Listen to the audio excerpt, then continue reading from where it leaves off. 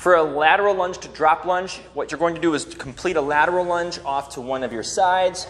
You'll pop back up, finish that lunge, and then you're going to turn over into a drop lunge, which is basically us going into a, kind of a curtsy style lunge.